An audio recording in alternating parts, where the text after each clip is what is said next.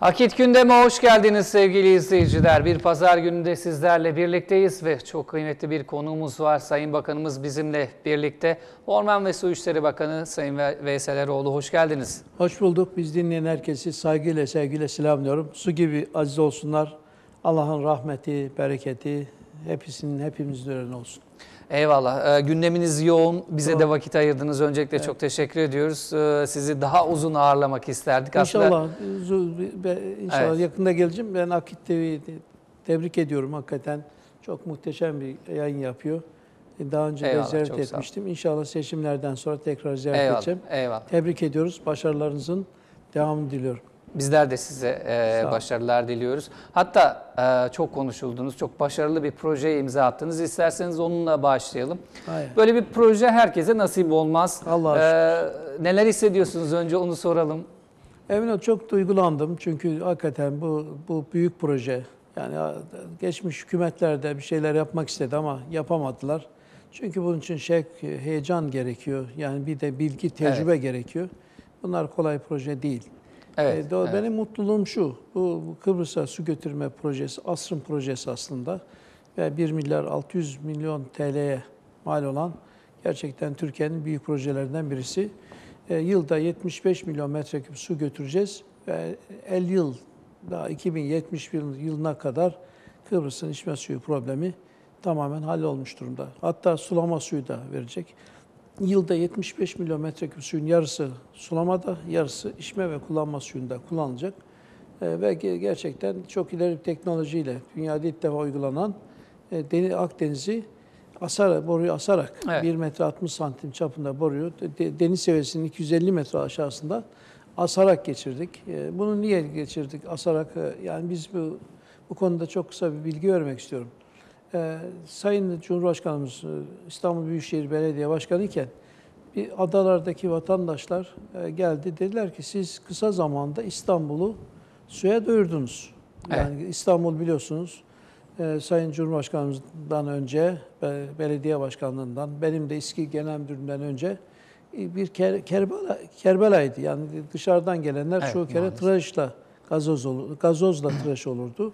Dolayısıyla e, siz e, İstanbul'da kısa zamanda su verdiniz. Bize de adalara da boru hattıyla su getiremez miyiz deyince Sayın e, Cumhurbaşkanımız o zaman bana sordu. Veysel Hoca dedi adalara su getirebilir miyiz? Ben dedim ya proje var.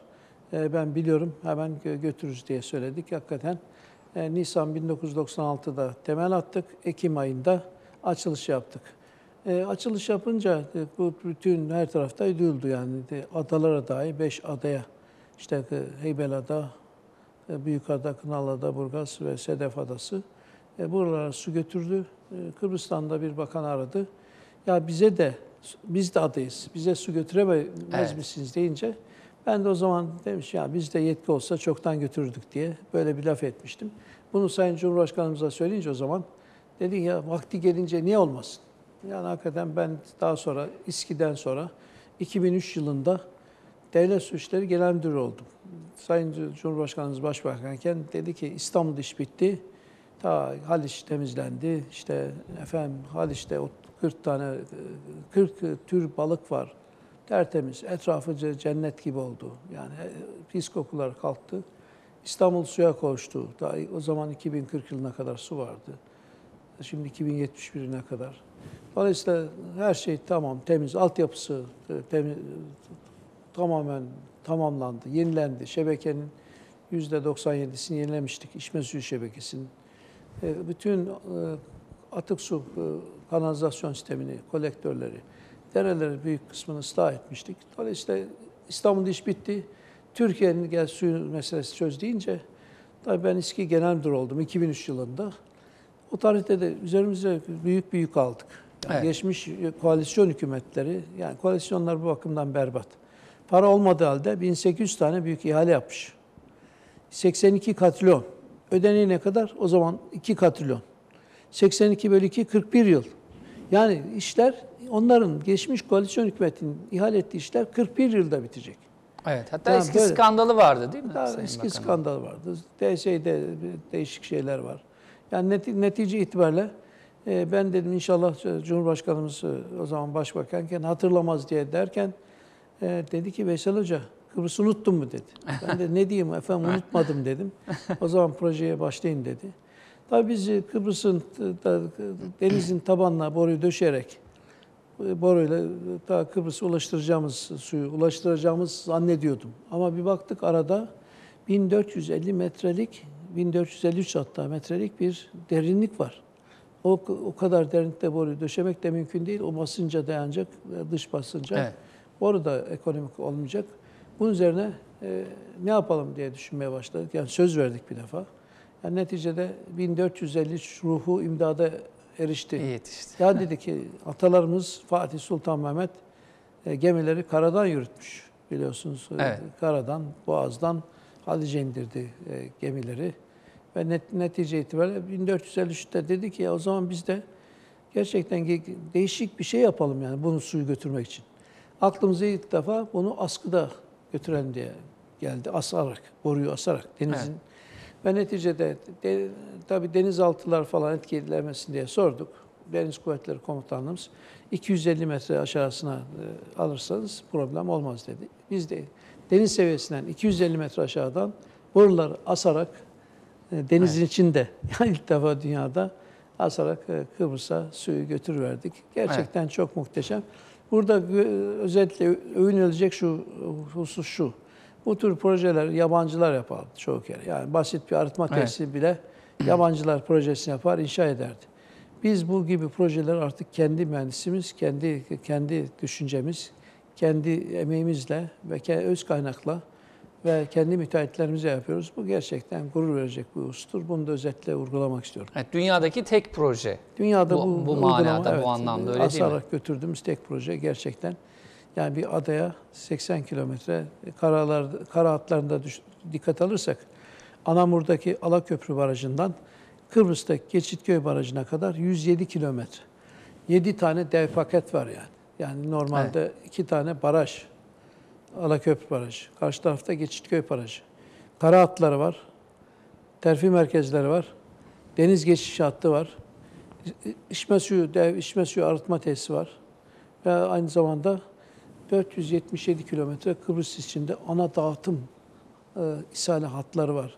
Ayrıca içme suyu depoları var. Yani dev 7 tane paket ola- olan dev bir proje. Allah'a şükür onu bize e, götürmek bize nasip oldu. Bu büyük mutluluk vesilesi. Bu aynı zamanda hem teknolojik üstünlük dünyanın dikkati çekti hem de Kuzey Kıbrıs'la Türkiye arasındaki gönül bağını daha da kuvvetlendirdi. O da e, dikkat çekti. Onu da özetle vurgulamak istiyorum. Eyvallah. Eminim sizde daha çok e, proje vardır, büyük proje- projeler vardır. Gelecekte ne bekliyor bizi? E, bayağı bir hazırlığınız var Şimdi önünüzde efendim, de. Onları da bir kısaca e, biz- başlıklar halinde söylerseniz yani. Türkiye'de çok güzel işler yaptık. 13 yılda hayal edilemeyecek. Yani 70-80 yılda yapılacak işleri biz 13 yılda yaptık. E, Her kasada, her sahada. Mesela biz e, şehirlerin suyu yoktu. 76 şehir, 76 şehre su götürdük. 2050 yılına kadar çoğu şehrin suyu var. Mesela İstanbul. 2071 yılına kadar su olacak şekilde planlama yaptık. Eskiden 6,5 milyon nüfuslu İstanbul'da su yoktu. Kerbela gibiydi. Şimdi 15 Evet. milyon çeşmelerde, kurak dönemlerde dahi sular şarıl şarıl akıyor biliyorsunuz. Ee, keza e, efendim Siirt'te, Şırnak'ta, Mardin'de yani ne- nereyi sorarsanız e, Bat, e, Kars'ta, e, efendim Edirne'de, Evet. Çorum, Çankırı, Trabzon, e, Sinop, yani aklı 76 şey, Mersin, İzmir, Afyonkarahisar, e, Aydın buralarda su yoktu ye- yeteri kadar. Biz burada dev projeler yaparak bura- su götürdük. Ayrıca e, barajlar Türkiye'de sulama sistemleri çok geliştirdik. 278 tane baraj inşa ettim. Mesela Türkiye'nin en yüksek barajlarını biz inşa ettik. Ermenek Barajı, daha sonra onu daha da geçen yükseklikte Deriner Barajı. Şimdi onu da geçecek bir inşa halinde Yusufeli Barajı var. Yusuf, Yusufeli Barajı'ndan daha yüksek bir baraj inşa edilemeyecek en yüksek barajı biz inşa ediyoruz. Bu gerçekten gurur vesilesi. Şimdi 278 baraj dışında bin günde bin gölet ve sulaması bitirdik. Sulamalar, dere ıslahları. Türkiye'de çok dereyi ıslah ediyoruz. 1500 dere, tane dereyi ıslah ettik. Efendim ağaçlandırmada muazzam bir seferberlik başlattık. Ağaçlandırmada gerçekten dünyada ilk üçe giren bir ülkeyiz. Ee, aşağı yukarı ağaçlandırmada 3 milyar 250 milyon fidan toprakla buluşturduk. Hatta bu bütün dünyanın dikkatini çekti. 3 yılda bir Birleşmiş Milletler Dünya Ormancılık Zirvesi ve Forumu yapıyor. Ee, 27 yıldan sonra ilk defa Birleşmiş Milletler'in New York'taki merkez dışında bu forum ve zirveyi biz 2013 yılında Türkiye'de yaptık. Hatta açılışını Sayın Cumhurbaşkanımız Başbakanken yaptı. Ee, Şimdi bakın bu e, geçtiğimiz 12 Ekim'den 12-13 Ekim'de Türkiye'de ise bir gene Birleşmiş Milletler Çölleşmeyle Mücadele 12. Taraflar Konferansı'nın e, ev sahipliğini ve başkanlığını Türkiye yapıyor. Evet. Hatta 100 katılan 195 ülke oy birliğiyle e, beni e, bir dönem başkanı ola- olarak seçti. 3 yılına biz dönem başkanlığı yapacağız. Ya bunlar gerçekten çok Türkiye'nin nereden nereye geldiğini gösteriyor. E, Biz özellikle şunu ifade edeyim. E, Tabii e, şu anda bizim 2019 yılına kadar projelerimiz var. Özellikle şunu e, belirteyim Ali Bey. Yani öz- özellikle 2019 yılına kadar neden? Hiçbir partinin projesi yok. Ama bizim bütün, bakın Ege GEP adıyla 4500 Ege GEP, Ege Gelişim Projesi. Yani bütün Ege bölgesinin projeleri var burada. Bütün 2015'te başlıyor, 2019'da bitecek. Bakın 4547 tane tesis yapacağız ve 25 milyar TL'lik bir yatırımla e, gerçekten destan yazacağız. Yani Peki. burada şunu söylemek istiyorum. Yani muhalefetin konuşuyor ama hiçbir şey yok. Ne ne yapacaksınız? Yani bizim projelerimiz hazır mesela. Orman Su İşleri Bakanlığı'nın hangi yıl neyi yapacak, nerede, parası ne oldu, projesi nedir, hangisidir? Bütün bunların her il il hepsi hazır. Bu Ege bölgesinin yani İz- İzmir'den Evet. e, İzmir'den başlıyor Afyonkarahisar'a kadar işte Manisa, Manisa, Uşak, Kütahya, Afyonkarahisar e, arkasından Denizli, Muğla gibi bu bölgede Uşak gibi bütün illeri kapsıyor. E, öbür taraftan, Bölge bölge çalışmalarınız, var. projeleriniz Mesela hazır. Tragep diye proje bunu e, ilan etmiştik. 2019'da bitecek. Trakya'daki bütün e, barajlar, göletler, sulama tesisi, bütün atık su arıtma testleri, e, ağaçlandırma, erozyon kontrol çalışmaları, meteoroloji istasyonları, bütün hepsi kurulacak. Yani bakanlığımızla ilgili ve 10 milyar TL harcanacak. Ergene'de tertemiz olacak. Yani bu da e, Ergene'de mesela atık su arıtma tesisleri hemen hemen bitiyor. Öbür taraftan Marmara bölgesi için, bu Trakya için, Marmara bölgesi için e, bu bölgedeki bütün tesisleri inşa ediyoruz, etmeye devam edeceğiz. Marmara'da 16 milyar TL bütçeli 1649 tane proje yapacağız. Bakın her ilde ne yapacağımız belli. Her ilde. Bunun tabii zamanımız sınırlı olduğu için vatandaşlara şunu söyleyeyim. Burada, Bursa'da ne yapılacak efendim? İstanbul'da ne yapılacak? Efendim Kocaeli'nde ne yapacak? Hepsi belli. Yani bu Evet. projesi il, il Türkiye'deki bütün illerin Bütün e, illerin projeleri bir, bir bölge projesi. diyorsun. Mesela Sayın Başbakanımız da Adana'daydık. Adana'da Sayın Başbakanımız Ahmet Davutoğlu, Adana'da Akdeniz GEP adıyla Akdeniz GEP, Akdeniz Gelişim Projesi, ta Isparta, Burdur, Antalya, efendim Mersin, Adana, Osmaniye, e, Hatay ve Kahramanmaraş'taki bütün illerimiz, yani Akdeniz bölgesinin Evet. illerinde 37 milyar TL'lik yatırım yapacağız bakanlık olarak. Orman Su İşleri Bakanlığı.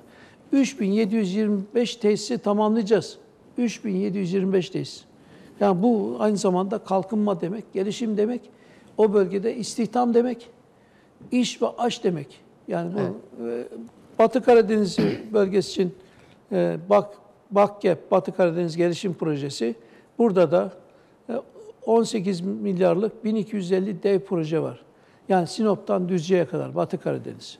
E, Orta Anadolu için yok mu yok mu dediler. Ya dedim Orta Evet. Anadolu Onlar için de de var diyorsunuz. e, bu Orta Anadolu için çok büyük talep vardı. Ya Orta Anadolu hakikaten çok e, vatana, millete ba- bağlı, e, çok çalışan insanların bulunduğu yerler.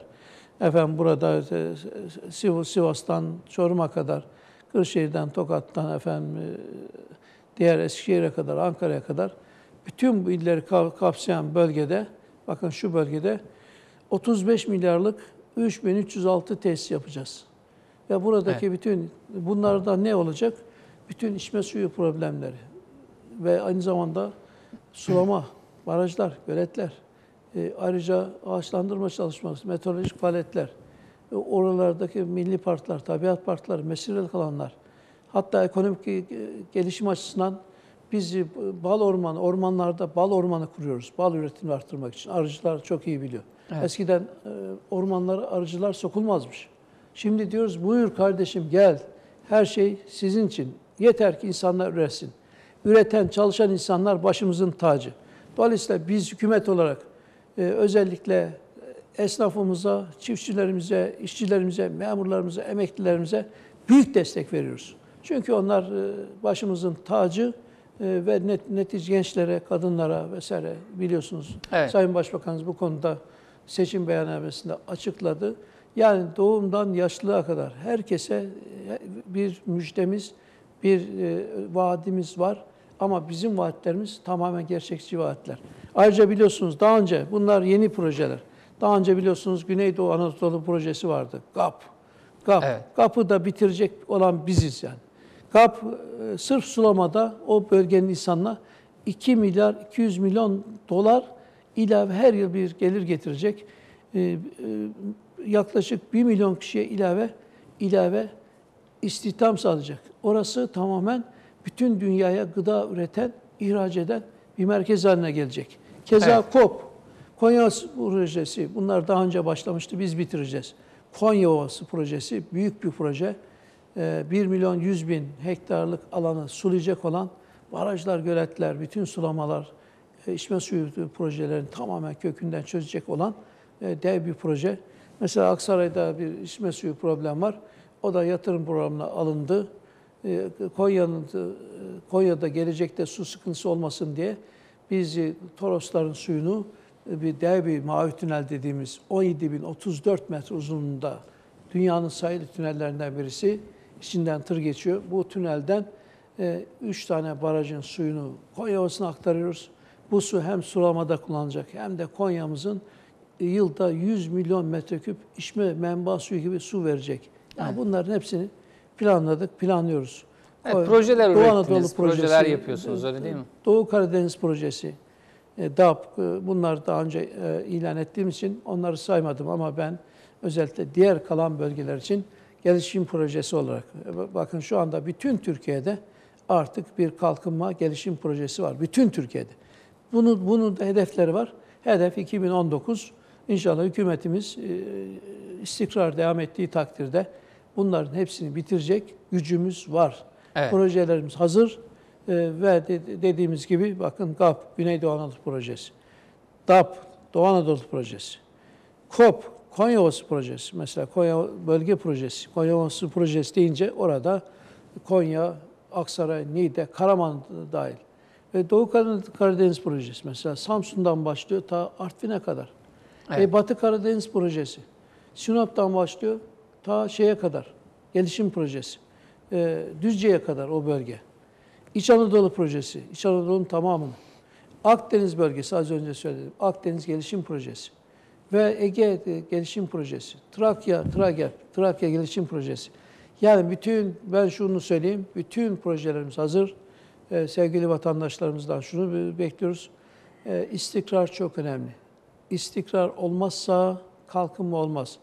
Koalisyon dönemlerinde Türkiye hep baş aşağı gitmiştir. Evet. Ee, özellikle bunu e, vurgulamak istiyorum. Dolayısıyla bu projelerin bitmesi için sadece biz değil, bu benim projelerim. Yani bizim bakanlığın projeleri. Ee, diğer bütün bakanlıkların büyük projeleri var.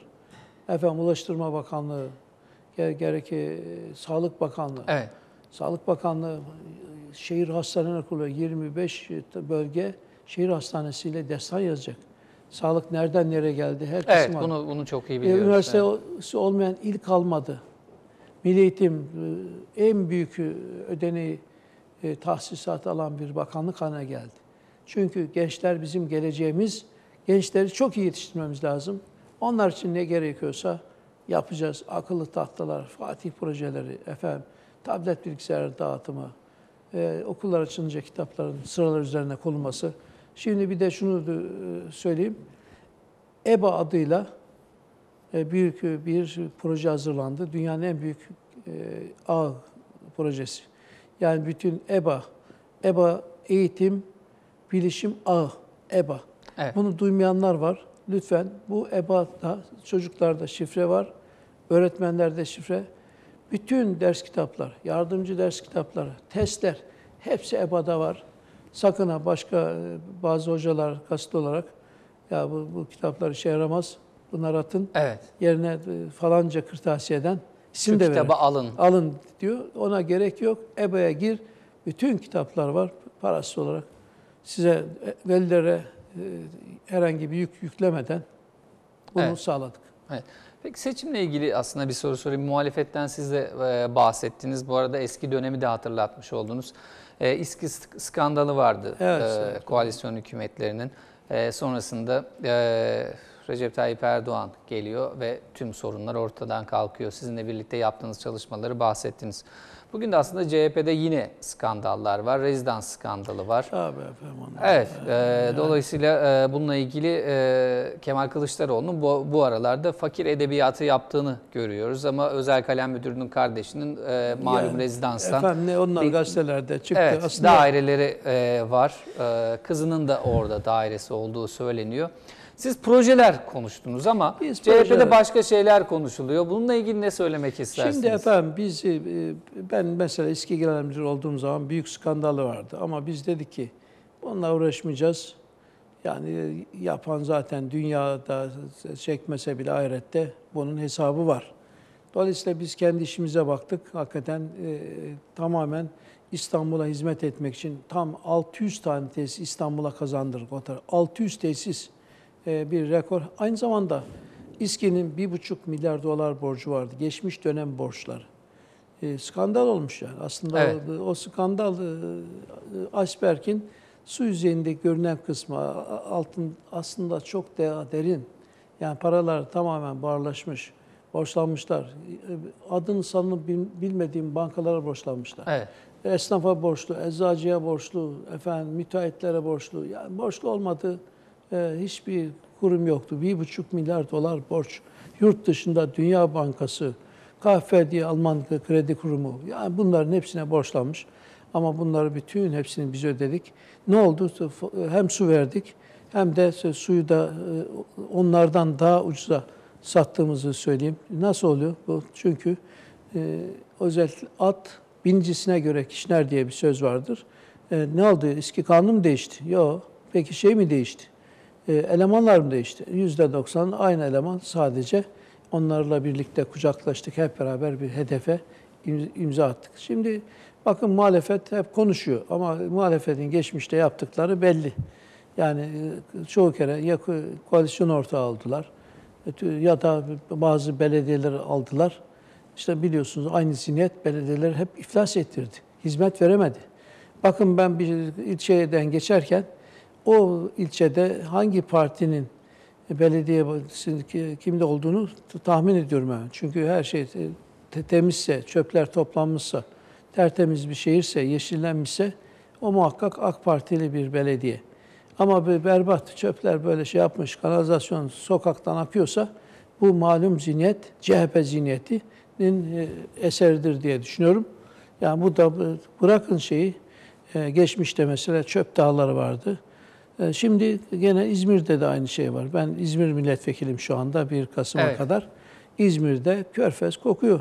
E çöpler, çöpler e, tamamen vahşi çöp depolaması. Ya vahşi çöp deposu kalmadı. İstanbul'da dünyanın en e, muazzam tesisini kurduk. Hem kat atık bertaraf tesisi, düzenli depolama tesisi, yakma tesisi, e, çöpten elektrik üretme tesisi, çöpten gübre üretme, kompost tesisi. Hepsi var. Düzenli toplanıyor. Hatta tıbbi atıklar e, insanlara bulaşmasın diye onlar ayrı özel kaplarda, torbalarda toplanıyor. Özel araçlarla bunlar e, bertaraf tesisine gö- götürülüyor. Yani İstanbul'da niye de hastalıklar azaldı? Niye hava kirlenmesi e, tamamen kalktı? Sular temiz, insanlar temizleniyor. Açınca gençler bu bakımdan e, babalarına, annelerine bir zahmet sorsunlar. İlk defa oy verecekler. E, acaba İstanbul, Türkiye böyle miydi anneciğim Evet. yoksa eskiden neler çektiniz diye bir sorarlarsa oy verirken çok isabet olur. İstanbul İstanbul, Ankara, e, şimdi İzmir. Yani ki nereyi sorarlarsa büyük şehirler. Evet. Benim memleketimde bile Afyonkarahisar'da e, vatandaş arsenikli su içiyordu. Biz ilk defa menba suyunu biz getirdik. Çok çoğu yerlere aşağı yukarı. Aydın'da su bitecekti geçen sene. İkizdere Barajı'nı yaptık. E, CHP'li belediye. Yapamadı. Hatta bütün arıtma tesisini, ishal hatlarını, dağıtım hatlarını biz yaptık. Çünkü orada insanımız var. Onları onlara ve belediye yapmıyor diye e, hizmet yapmamak olmaz. Hatta pozitif ayrımcılık yaptık. Ama Evet. İstanbul'da hükümet hiçbir şey yapmadı. Biz üstelik bizim üzerimize gitti. Eski borçları aldı. Ee, eski borçları tahsil etmeye kalktı. Et- etti de e, buna e, rağmen biz biz e, hiçbir hiçbir hükümet yapmadı. Eskiden barajları DS yapardı eski Türkiye'de. Bize İstanbul'da hiçbir baraj yapmadı. Bu barajları e, biz yaptık. Istıranca'da 7 baraj. E, Yani bunları biz yaptık. Şimdi Melen Barajı'nı e, elbette şu anda biz hükümet olarak her tarafa yapıyoruz. Evet. Ee, İzmir İzmir'e- kıymetini bilebilecek mi peki? Bu dönem ne diyorsunuz onunla ilgili? Yani e, CHP'nin skandalları Valla şimdi CHP'nin şöyle şöyle ifade edeyim. Yani vatandaşlara benim şeyim şu. Yani Türkiye'nin geleceğine oy versinler. Yani Türkiye büyüyor, gelişiyor. Evet. Yani koalisyonlar e, Türkiye'de daima problem olmuştur. Koalisyonlarda ülke baş aşağı gitmiştir. Dolayısıyla lütfen istikrara oy versinler. Yani onlar konuşuyor. İşte bir AK Parti yapıyor yani. Zaten bu- herkes bunu diyor. Ya onlar hep konuşuyor, tenkit ediyor ama yaptığı bir şey yok. Ee, Bizim yaptıklarımız yapacaklarımızın teminatı bakın. İşte bu 2019 yılına kadar bütün bakanlıkların 2019 hedef var, 2023 hedefleri var. Bunu planladık. Ya onların bunu anlayacak e, herhangi bir kabiliyetler de yok, kadrolar da yok. Kadro bizde, ekip bizde. Vatan millet sevgisi bizde. Biz bayrağımızı daha da yukarı e, zirveye taşımak istiyoruz. İşte tek vatan, tek millet, tek bayrak, tek devlet diyoruz Tür- Türkiye'nin Evet. elinde. Dolayısıyla sa- savunma sanayinde büyük bir hamle yaptık bakın. E, Daha 10 gün önce Sayın Cumhurbaşkanımız dünyanın sayılı e, harp gemisini denize indirdi. Evet. Atak helikopterler 30, 30 Ağustos Zafer Bayramı'nda gösteri yaptı. Atak helikopterler. Altay tanklarımız, Anka insansız hava, e, hava uçaklarımız var. Göktürk uydusunu uzaya fırlatan biziz. Evet, evet. Bakın asrın projesi e, aynı anda açılırken 17 Ekim'de aynı tarihte uzaya bir haberleşme uydusu gönderdik. E bunlar bunlar nerede nereye? Evet. Nereden nereye dedik bizler Nereden de. nereye? Yani bunları bir hatırlatmak. Yani bunlar gençler tabii sanıyor ki ya, eski Türkiye'de böyleydi. Eski Türkiye 70 Bunlar sente var muhtaçtı. oluyordu öyle değil mi sanki? Bunlar Efendim? varmış gibi. Varmış gibi yani sanki güllük gülistanlı Evet, hep böyleydi. Bunlar Allah'a şükür Türkiye bizimle gelişti, bizimle yükseldi. Başı dik ilk defa bizi dünyaya olan, IMF'ye olan borcumuzu ilk defa biz ödedik. Ve bu sene düşünebiliyor musunuz? G20 zirvesi Türkiye'de yapılıyor, Antalya'da. Türkiye ev sahibi ve dönem başkanı. Nerede, nereye? Evet. E, Gençlerin bunu fark etmesi lazım. Dolayısıyla inşallah 1 Kasım'da e, biz milletimizi daima hatırlıyoruz. Onların da bizi 1 Kasım'da hatırlamalarını özellikle rica ediyorum. Evet. Bizi bir hatırlasınlar yani. yani Eyvallah. kendi milleti Bakanım, seviyoruz. Çok kısa bir reklam arası verelim. Sonrasında toparlayıp e, size müsaade vereceğiz. Sevgili izleyiciler çok kısa bir reklam aramız var. Sonrasında tekrar buradayız.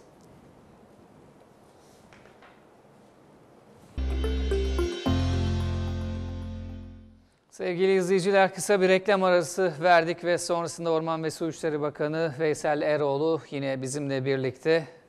Sayın Bakanım, e, merak edilen sorular var aslında. İzleyicilerimiz doğru, e, merak- sizi takip ediyorlar. E, aslında bu seçim döneminde de işçiye, emekliye, memura yönelik e, AK Parti'nin ciddi anlamda projeleri vardı. Var, AK Parti deyince akla proje geliyor. Proje geliyor. Mesela Evet. konut konut için şimdi biz e, kira öder gibi hatta 250-300 liraya emekliye, işçiye, memura, fakir fukara, garip kurabaya ev yapma talimatını e, Başbakanımız TOKİ'ye talimat verdi. Evet. Çünkü dünyada en önemli şey e, ev, evdir. Konut bir yuva sahibi olmaktır. Dolayısıyla hatta atalarımız ne diyor? Evet. Dünyada mekan, ahirette Ahirette. iman der yani. Dolayısıyla dünyadaki mekan önemli. E, o bakımdan biz dünyada herkese ev sahibi yapacağız.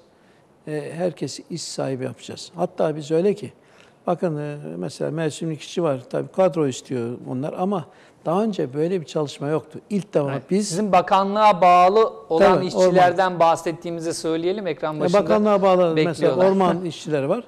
Biz onlara mesela bunlar mevsimlik işçi. Tabii bunları kadroya almak kanun meselesi. Ee, istikrar olduğu zaman bunlar e, zaten kadroya e, talep olunca belli sayıda kadroya alırız. Ama hepsini şu anda kadroya değil de biz onları süreyi uzattık. Hatta toplum yararına çalışmayla tekrar çalıştırıyoruz. Yani iş çok çalışmak isteyene iş çok. Onu özetle vurgulamak istiyorum. Evet. Ee, inşallah e, bu e, e, zaten e, seçim beyanamesinde Sayın Başbakan'ın bazı vaatleri var. E, Taşeron Evet, o vaatlere uygun. Zaten için. diyorsunuz ki projeler çok Projeler dolayısıyla çok, ya çok onlar yani Türkiye zaten istikrar olursa Türkiye çok kalkınacak. Evet. Zaten herkese iş, aş, ev vermek, yuva vermek. bekarlara eş tabii e, diyelim. bekarlara iş hatta biliyorsunuz polemik oldu. Yani Başbakanımız e, gençleri evlendirelim çeyiz hesabı falan Evet. diye. Bunlar bazılar tarafından nedense e, algılanamıyor. Ama neticede e, yuva sahibi yapmak herkesi bir Evet. yuva kurmasını, yuva Evet. kurmak, yuva temin etmek e, bizim e, vazifemiz yani. Ben mesela bakanlıkta Yani milli arkadaşlar diyorum. manevi duygularla Tabii. yaşıyor olanlar bunu anlayabilir. Ya onlar diyoruz. öbürler anlayamaz yani. Yani e, bir, bir, bir ka- kadındı, e, eş başkandı adıyla bir kadın. Sabahleyin televizyonda dinledim, hayret ettim. Yani bizim gençleri evlendirmek için her türlü destek vermemize itiraz ediyor. Evet. Yani bizim bakanımız güya demiş ki Aile Sosyal Politikalar Bakanı, efendim gençler yuvayı kurun, yuva, yuvanıza sahip çıkın demesi sanki suç oldu. Yani bakın biz gençleri seviyoruz. Ee, ve bütün hepsini e, yuva sahibi yapmak hem maddi açıdan hem manevi yani bir yuva kurmasını ve bir yuva sahibi yapmak e, bizim boynumuzun borcudur. Bunu bunu yapacağız. Biz e, bütün insanları seviyoruz. Onların mutlu olmasını istiyoruz. Eyvallah. Nitekim mutluluk seviyesine baktığımız zaman mutluluk seviyesi de Türkiye'de çok artmış yani. Tabii yapılacak çok şey var. Biz onun için talibiz. Yapılacak bir şey olmasa bize ihtiyaç yok. Ama Evet. şu anda yapacağımız çok iş var. Herkese iş, aş, yuva, yuva e, sahibi yapmak, bir de yuva kurmak. Evet. Bekarlara yuva kurmak. Yani ben hakikaten e, genel müdürlerine diyorum ki, e, ya gene sayın genel müdürler, bekarları evlendirin. E, yani aracı olun yani. Neticede insanlar bir aracı istiyor. Bunlar yuva kurun. Hatta gerekirse evlenenlere lojman verin diye e, ev TOKİ'den ev yapalım diye Evet. söylüyorum. Çünkü onlar da bizim evlatlarımız. Onlara sahip çıkmamız gerekir. E, inan- Bayrağı devralacak isimler Tabii onlar. öyle onlara da sahip çıkmamız gerekir. Dolayısıyla biz gençlere, kendi elemanlarımıza, işçilerimize, memurlarımıza, emeklilerimize sahip çıkacağız. Emekliler bugüne kadar Türkiye'nin yükselmesinde çok önemli e, katkılar oldu. Dolayısıyla bütün emeklilere e, 250-300 lira e, bir e, peş şeyle, e, vadeyle, Aylık. aylıkla Evet. ev yapı sahibi yapacağız. Bu, bu kolay zor değil. Bunu yaparız. Yapıyoruz zaten. Ben geçenlerde, geçen e, bundan 7-8 ay önce Tire'de e, aşağı yukarı 180 lira mı neydi tam hatırlamıyorum. E, ki- kira öder gibi e, insanlara e, şey kura çektik. Anahtarlarını teslim ettik yani. Afyonkarahisar'da, Dinar'da Evet. yani pek çok gittiğim yerlerde kura çekiyoruz. Anahtarlarını teslim ediyoruz. E, Daha da varsa e, müracaat etsinler. Biz bunlara ev sahibi yaparız yani. Evet, herkesin ev sahibi, Ev sahibi olması yaparız. için. Mersin yuva sahibi işçilerle olması ilgili için. de e, çalışmalar yapılıyor. En azından bizde birkaç e, bir mevsimlik işçi var. E, Bir de toplum yararına çalışan var. Bir de e, vahidi fiyat diye yemiyeli çalışan var. Hakikaten o yemiyeli çalışanlar e, köylerden vesaire çok iş yapıyor. Çok mutlular ama onlar da sosyal güvence istiyor. O konuda da çalışma yapıyoruz. Yani ben de arzu ediyorum. İnşallah e, şu seçimden sonra istikrarlı bir hükümet kurulursa bunların hepsi çözülür yani bakın. Evet, her şey istikrarlı bir sonucun çıkmasıyla Her şey bağlı istikrara bağlı. sandıktan. Çünkü Evet. istikrar olmasa e, nereden şey, Türkiye baş aşağı giderken Evet. Ne yapacaksınız? Koalisyonlarla bunların hiçbirini yapamayız. Olmuyor işte diyorsun. bakın görüyorsunuz. Evet, evet, İtalya gördük. koalisyonlar yasakladı. E, Yunanistan'ın halini görüyoruz. Koalisyonlarla Evet. bir şey olmuyor. Olmuyor. Evet.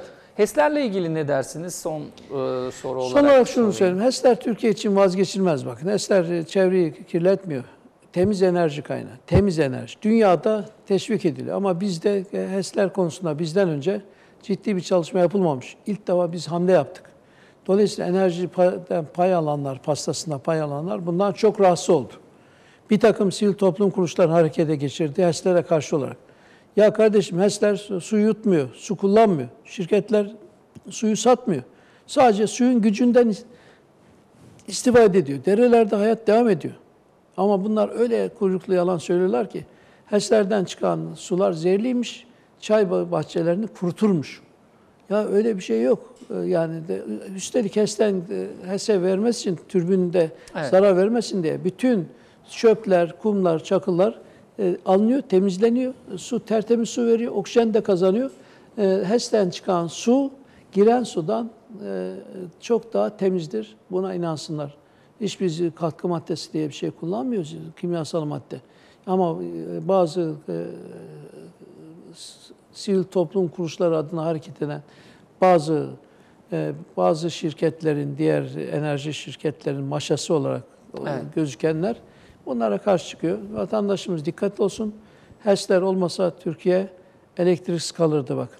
Bir tarihte doğalgaz vanalarını kapattılar biliyorsunuz. Ve neticede neredeyse e, ter, doğalgaz çevrim santralleri durdu. Biz e, HES'lerin yedeklerini devreye sokarak Türkiye'yi karanlıktan kurtardık. Evet. HES'ler böyle yani. E, Evet. Temiz, yenilebilir enerji, kendi enerji kaynağımız. Evet. Aslında milli ve yerli olana bir karşıtlık var maalesef. Her projenizde her Kıbrıs'a proje, evet. götürdüğünüzde de sosyal medyada bir pankart gördük.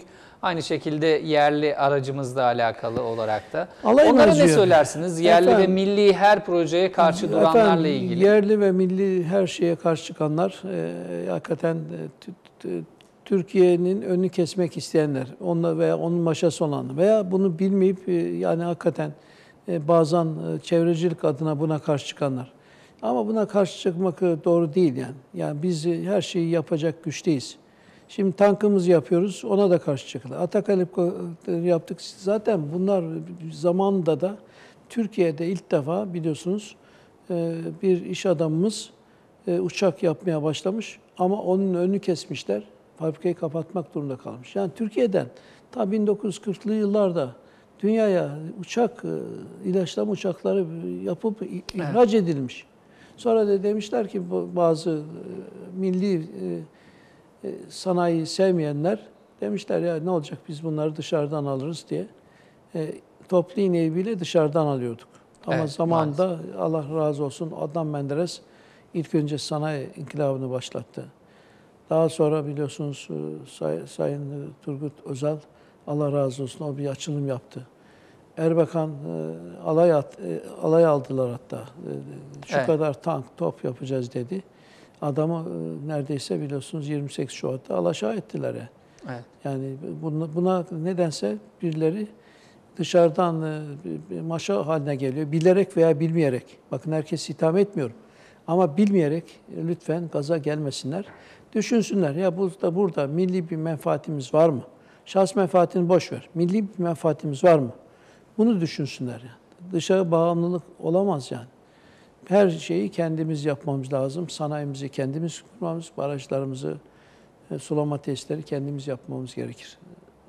Tankımızı, tüfeğimizi, döktük uydusunu.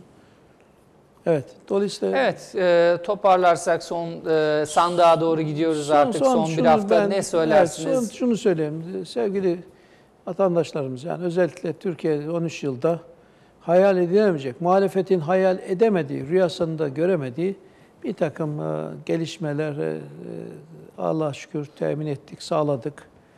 Muazzam bir dönüşüm gerçekleşti. Bunun devam etmesi için siyasi istikrar şarttır. Dolayısıyla AK Parti de bunu, bu siyasi istikrarı mutlaka sağlayabilecek. Tek başına iktidara geldiği zaman Türkiye'yi daha büyük hedeflere doğru, 2023 hedefi dünyada 10 büyük ekonomi arasına girecek bir hedef. E, Bunu, bunu da gerçekleştirebilecek bir, bir partidir. Dolayısıyla 1 Kasım'da lütfen e, istikrara oy verin. Türkiye'nin geleceğine, Türkiye'nin büyümesine, kalkınmasına oy verin. E, Tekrar eski günlere dönmeyelim. Evet. IMF'ye muhtaç olmayalım. IMF önünde yalvarmayalım. 70 sente muhtaç olmayalım. E, uydu, e, özellikle gökyüzünden ve hatta uydudan e, şeylerin, e, akaryakıt kuyrukların görüldüğü, İstanbul'da öyle Evet. bir resim var. Evet, Çekmişler evet. akaryakıtların görüldüğü Türkiye olmasın yani. İşsizliğin has safhaya ulaştığı, geri kal- kalan bir ülke olmasın. Türkiye ge- gelişiyor, kalkınıyor, e, refah seviyesi artıyor, daha da artacak. Allah nasip ederse şu anda 10. s- ekonomiyi yakalamak için gayret ediyoruz. E, Bunun için destek bekliyoruz. Destek e, vatandaşlardan, hizmet bizden. Eyvallah. Şöyle ben son cümle olarak aslında meseleyi e, anlatayım. E, sizin çok iyi bildiğiniz o manzara. E, tankerlerle su verilen Türkiye'den Kıbrıs'a su veren Türkiye'ye Evet, doğru. dönüştürdük. E, sizin de emeğiniz çok. Çok teşekkür ediyoruz. Ben Ayağınıza, teşekkür ediyorum. sağlık. Bizi dinleyenleri saygıyla, sevgiyle selamlıyorum. Cenab-ı Allah inşallah e, iki cihan saadeti lütfeylesin. Sıhhat ve afiyete daim eylesin. Su gibi aziz olsunlar. Eyvallah. Herkese en kalbi selam ve hürmetlerimi arz ediyorum. Eyvallah. Başarılar diliyoruz. Sağ olun. Allah yardımcınız Çok olsun. teşekkür önümüzdeki ederiz. Sağ olun. Ve sevgili izleyiciler, Akit TV'de Veysel Eroğlu Sayın Bakanımız konuğumuzdu. O, Sizler de dinlediniz, e, projelerini anlattı. E, ve biz böylelikle huzurlarınızdan ayrılıyoruz. Görüşünceye dek Allah'a emanet olun. Çok teşekkür ederiz.